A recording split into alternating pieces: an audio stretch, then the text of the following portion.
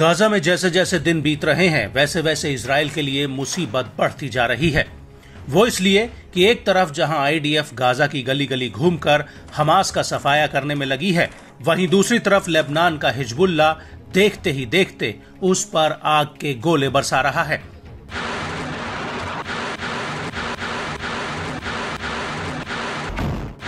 Hezbollah के पास Israeli सैन्य अड्डों की खुफिया जानकारी अब पहुँच चुकी है। जिसके दम पर वो लगातार इसराइल में बने आईडीएफ के ठिकानों को दहला रहा है। हालाँकि इजरायली सेना फ़िलहाल बचाव की मुद्रा में नज़र आ रही है।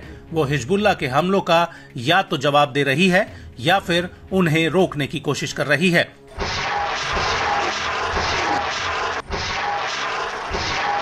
लेकिन तमाम कोशिशों के बावजूद हिजबुल्ला ने अल राहेब मिलिट्री साइट पर इजरायली सैनिकों के जमावड़े पर एक बहुत बड़ा हमला किया है।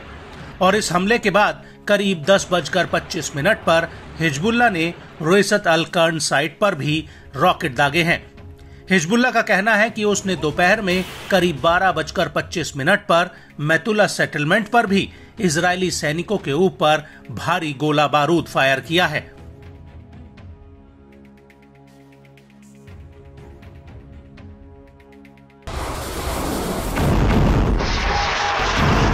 इन हमलों को लेकर इजरायली मीडिया का कहना है कि शलोमी और पश्चिमी अल जलील के बीच एक रिहायशी इमारत पर एक रॉकेट गिरने से वहाँ आग लग गई और एक रॉकेट अरब आरामशाह में जाकर गिरा है, जिसके बाद शाम होते होते हिजबुल्ला ने अल इबाद मिलिट्री साइट पर भी एक बड़ा हमला कर दिया।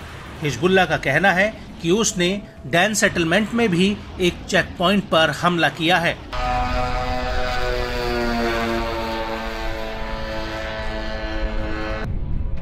और इसके बाद हिजबुल्ला के लड़ाकों ने आईडीएफ की 146वीं डिवीज़न के हेडक्वार्टर पर अबीरिम में कत्यूशा रॉकेट्स का एक जत्था फायर कर दिया। और इस हमले के बाद जापीरा बैरिक्स पर हिजबुल्ला ने कत्यूशा रॉकेट का एक जत्था फायर किया।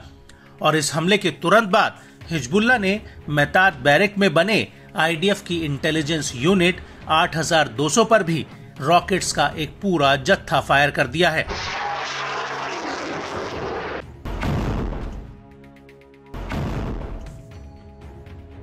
वहीं हिजबुल्ला के इन हमलों को लेकर आईडीएफ का कहना है कि हिजबुल्ला ने उत्तर पर कम से कम 100 रॉकेट दागे हैं और एक एंटी टैंक गाइडेड मिसाइल हमले में आईडीएफ का एक जवान घायल हुआ है।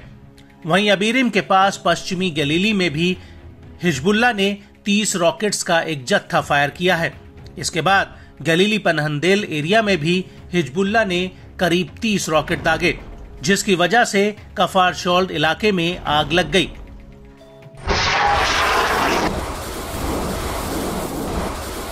इजरायली सेना का कहना है कि रॉकेट हमले की दूसरी लहर में करीब 30 रॉकेट अरब अल आरामशे इलाके में गिरे, जबकि 10 रॉकेट मतात इलाके पर दागे गए। इनमें से कई रॉकेट खुले इलाके में जा गिरे, जिनमें कोई हताहत नहीं हुआ है। और हिजबुल्ला के इन हमलों के जवाब में इजरायली जेट्स ने लेबनान के खारिबे आयात शहाब में कई हमले किए। आईडीएफ के मुताबिक हौला आयात शहाब और मरवाइन में हिजबुल्ला के ठिकानों वाली बिल्डिंगों को निशाना बनाया गया।